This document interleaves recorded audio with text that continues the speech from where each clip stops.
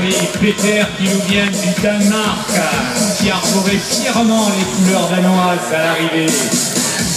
60 nations représentées aujourd'hui, et beaucoup de villes des Alpes-Maritimes, comme Véronique de Grasse,